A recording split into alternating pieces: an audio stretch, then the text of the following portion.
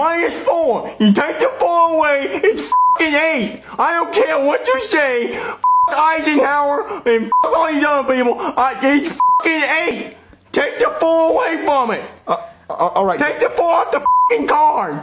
Put an eight down here in the space. It's an eight. All right, Jeffy, fine. It's eight. We can all agree on this one that it's eight, okay? Everyone's wrong. I mean, scientists are wrong. It is eight. Fine.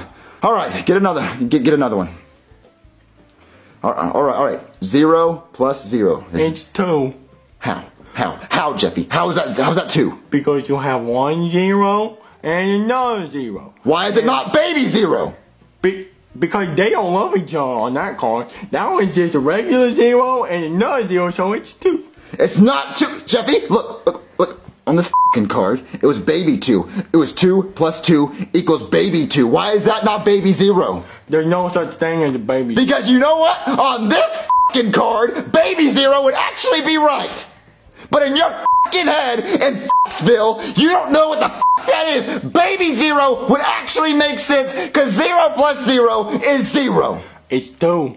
Why? Because they don't love each other to have a baby. It's two. It's just How do you? How can you tell that they don't love each other? There's not a heart on the card. What's that? Where's the fucking heart on this one? If you turn the two sideways, it makes kind of a heart and with a lion. He's a genius. He's a